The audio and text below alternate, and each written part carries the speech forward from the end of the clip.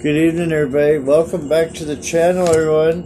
Uh, hope everybody's staying safe out there amidst this new normal in our society. Hope uh, your families are doing well. Hope your loved ones are well. Uh, if any of them are sick or under the weather or have contracted uh, what's going on, I hope that they seek uh, the medical attention they need, and I hope that they get well, and I hope that they are able to remain here on uh, God's green earth with the rest of us. So, without any further ado, y'all, I bought up uh, strawberry mini donuts from Little Debbie. I apologize in advance. Our front-facing camera is not the greatest, and uh, but anyway, I wanted to bring this review. to you. These are two bags for four dollars today at the grocery store when I went shopping. Uh, I picked up a whole bunch of new products for the channel, also for reviews. And uh, so let's tear these open. I didn't do a very good job of it, but I'll try to do the best I can. Let's take a smell test, right? Mmm.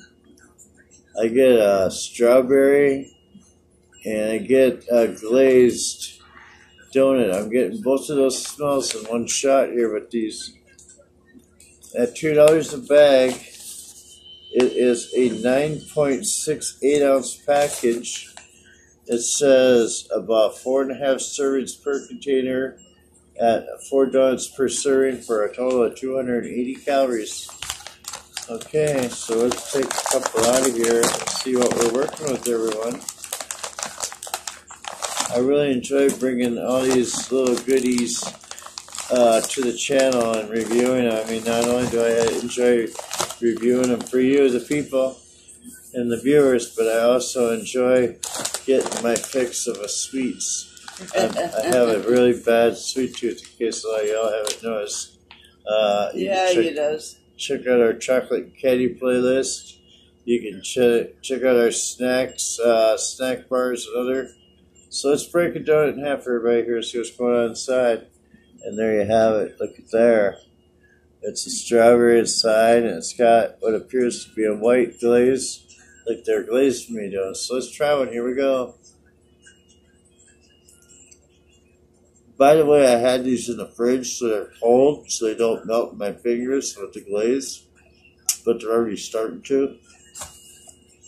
Yeah, Mm. it's been hot up in here. There's a heat wave moving over the central Midwest uh, here over the next 12 hours. We're going to go from ideal weather of 74 degrees with a cool breeze to uh, temps up in the upper 80s, lower 90s with heat indexes over 100. So the next few days going to be unbearable, my peeps. But anyway, back to the review at hand. Here, let's try the other half of this. Mm. Okay. Well, so far, my taste buds have discerned strawberry with a nice glazed coating. It's a very delightful flavor. The texture is right on the money. Um, it seems to be a pretty good quality. The filling is very much resemblant that of the chocolate with the yellow uh, filling on the inside, even though this strawberry is the same texture, same material, just different flavor and coloring. Um, they're good little donuts, y'all. I like them plenty. So on a 1 to 5 scale, let's give these bad boys a rating. How did you do tonight, little Debbie? I don't know, Let's see. Tell me what you think of my delightful goodness that's inside every bag. Okay. I will do that, little Miss Debbie. All right, Miss Debbie. Here it is. And uh, please don't uh, lock me out of your kitchen of delectable delights in the future. For my review and my rating, here we go. Three, two, one. Kabam! Straight on four. Four, four, four, four.